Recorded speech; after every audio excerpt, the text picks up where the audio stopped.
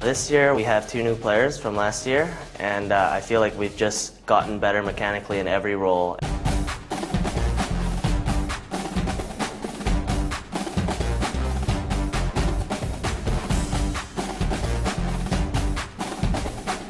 We kind of like hand selected this team.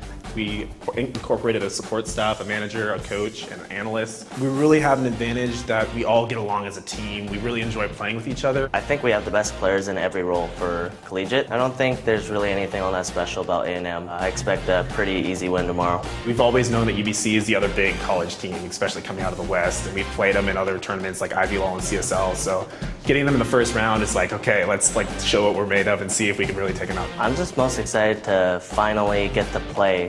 We've been practicing, we've been hyping it up. I'm just finally excited to get under the rift and beat them. I think it's an advantage that we're the quote underdog because we have nothing to lose. We've been here before. We're all like really like old school players. For, for me personally, like Proof is definitely the best jungler, like or besides me. But um, he does prioritize early ganks a little more than me, and he uh, really knows how to read the map and also while getting farm. Which if we see him we're able to counter gank him and stop his early game, I think like definitely we'll have the upper hand. Uh, I think A&M should get some tickets to Disneyland to salvage their trip because there is not going to be a third place match on Sunday.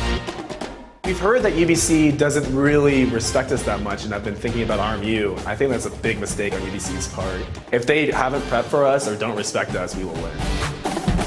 Well, it's good to be confident, right? I mean, there's no point in them playing if they don't think they can win. It just makes it better for us when we crush them. In solo queue ranking, I basically have enough LP to have more than all of Texas combined. UBC will definitely 2-0 Texas.